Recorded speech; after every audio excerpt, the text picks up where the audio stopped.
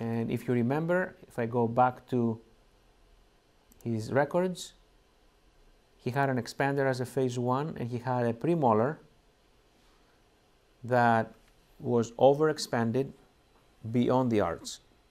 So it was in a, what we call buccal crossbite. So between his uh, appliance and his um, bonding, I had him on an Essix retainer until he was ready to start.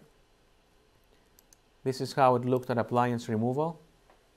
And you can see how sometimes, because a Hyrax expander works in two dimensions, as it expands, you're losing that arch coordination that you need to gain later with braces if you overdo it. And in his case, I overdid it intentionally because he started, if I go all the way back to his original records, with a very narrow maxilla.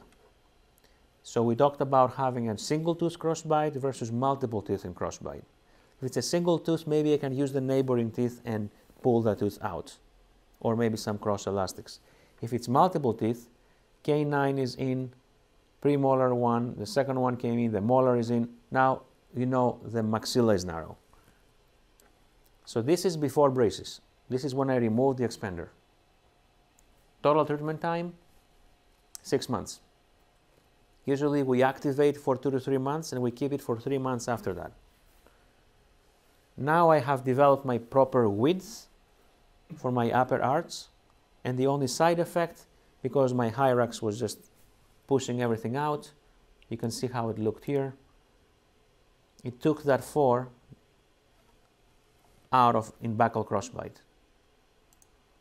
So again, we gave him an Essix, held it in, came back, and because of that reason, we decided to do a passive start so we can include that canine. And what I told you is allow the wire's memory to pull things in. Let's see if that happened. Side by side. And here it is today. So look at the difference. We got excellent alignment on the lower anteriors, right? We got some bite opening. Why? Because as we proclined, what happened to, actually, as we aligned, what happened to the lower incisors? They proclined. So that was expected. And look at the discrepancy between the 3 and the 4 that was in buccal crossbite, before and after. Do you see how they lined up? So today, just with a 14 NiTi, we regained arch coordination, one appointment.